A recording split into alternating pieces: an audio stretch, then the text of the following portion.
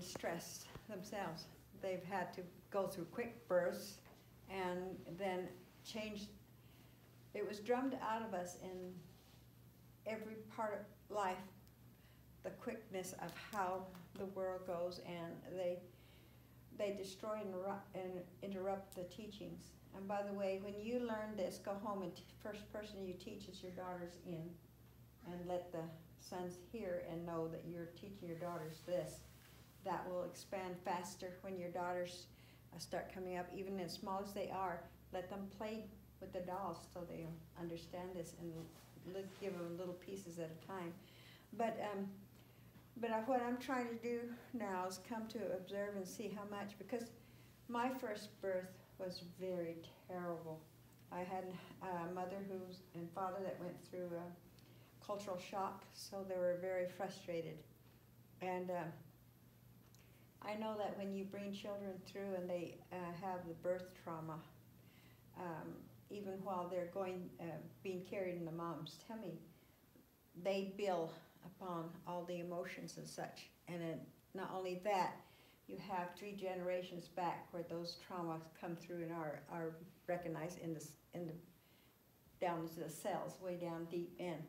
So um, that on top of having to come into a world that's very different after all these years we've had um, been able to be calm, even though we had broken into tribes, we had interrelationships where we respected each other's territory. So there was peace, even though we had lots of wars among each other. That's natural with human beings, even neighbor to neighbor in your own tribe.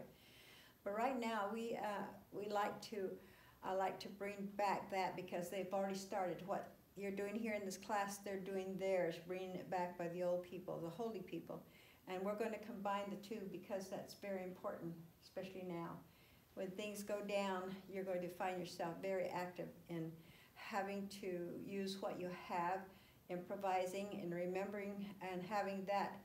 You have to have that uh, memory, uh, um, how she tells it, to, so that you can go into action and not have trauma because there'll be trauma all around you.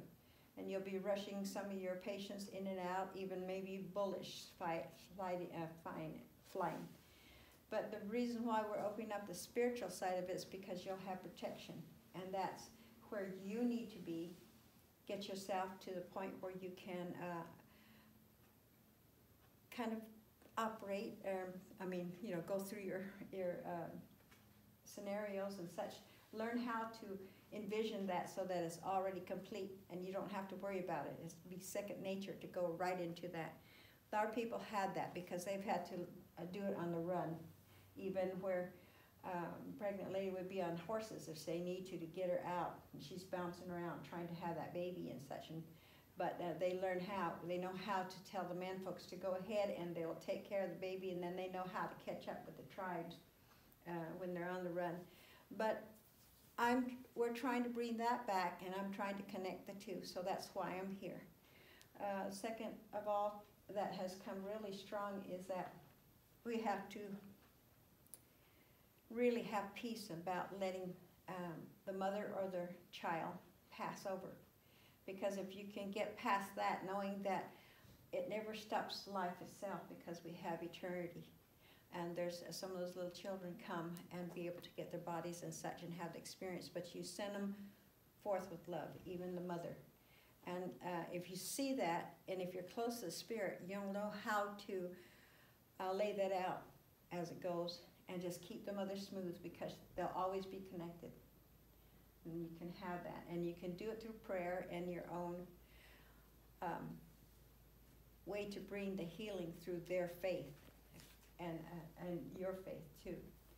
But um, I've lost a couple of children. The, main one I had was a little boy whose whole name was given to me and just before. Um, he was um, just now six months in my tummy. I've uh, interacted with my father's, my husband's father, adopted father, and he was a Texan um, person, uh, LDS, but very in trauma himself because he wanted to die. He was old. He wanted to go back home, and I was the only one taking care of him. And I be Native American. Him saying he loves Native Americans, it didn't show when I was having to take care of him and myself at the same time, and I lost the baby. And I blamed him, and I blamed myself, and I blamed my husband for not taking care of the situation with his dad. It was very traumatic because the first birth I had was bad enough as it was 36 uh, hours in pure labor. And so I understand all the pains and such of having to birth children. And now I was having to lose a child under that situation, and I had to make sure I did. I wanted so bad not to leave that imprinted on that baby, but it was very hard. If it wasn't for my bishop, not my husband came, because my bishop doesn't even, and my poor husband didn't even know he wasn't attached to that baby at all. I carried that baby while I was out having to take care of following the prophets around and recording him because he's a, in, he did film. So I had to go through this by myself. The first birth, I would have never made it with that 36 hours in labor if it wasn't for this beautiful white lady. Uh, I say white because she's dressed in white. I know now that she was from the other side of the veil. And she came and says, That's all right, sweetheart. And she talked me through. She says, Now just relax. We'll get it out. But my poor little baby, when they brought him to me after about another day or two days of recovering, I did not, I, I don't know where I was, but he came with a black eye and just bruises because they used, uh, forced it out. Uh, but I try to take as much as I can to um, go back and try to love him. To this day, he, he's really separated from me because we didn't have that um, time with each other. But he's still okay. But on the, when I lost the baby by myself in the hospital, I really, it really hit so hard that I had a hard time losing that baby. And um, my bishop had to sit there and help me try as best he can to give me the words. And because I, I was so upset that I didn't let the angels intervene and tell me it's going to be all right. The baby itself came and says, It's all right, Mama. And I heard him. You know, there's a, there is an answer for what all will happen. And uh, every once in a while, I hear that little child, and I will, I know that I will be with him and know how that will also. I'm okay. It's just tender my heart. I guess that's why I relaxed and laughed at this little fellow because there's no way I could I could put my whole mouth, his head in my mouth to breathe, but you know I, I can't relate to it at all. But that's good practice. I another time I wanted to tell you and uh, is that I held my sister's little baby in my hand and talked to her when she was dying because this is terrible, but I knew that baby could live. But I know the doctors looked at my my sister and she had nothing. We had nothing. We're so poor, and there was no way he's going to put us in a situation where they have a lot of money using all their equipment and such to let this baby live. I knew that baby could live, and yet I was standing there, and he's saying, "Okay, go ahead and say goodbye to this baby. I'll leave you alone." Cause, and he went out. I knowing that they could have, I mean, they can take care of babies when they're premature.